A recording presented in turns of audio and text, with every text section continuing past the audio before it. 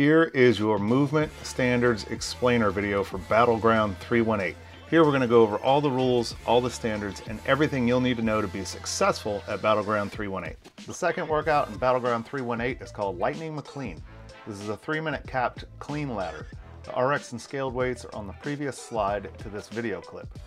When competing in Lightning McClean, partners may not move on to the next bar until both have successfully lifted the previous weights. Don't forget, there's only a three minute cap on this workout. It's meant to be fast. Now let's talk about a few of the things that will get you no rep in this workout. As you can see in this clip, Michael does not quite break parallel with his hips in the bottom of the front squat, thereby deeming this rep a no rep.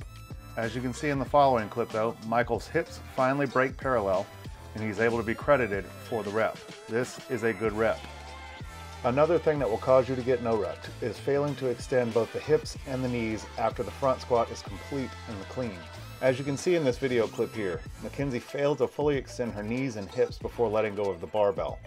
As you can see in this next clip, Mackenzie finishes the rep, extends her knees, hips, and shows control of the barbell before moving on to the next bar. The front squat must be completed with the athlete under control of the barbell and fully extended.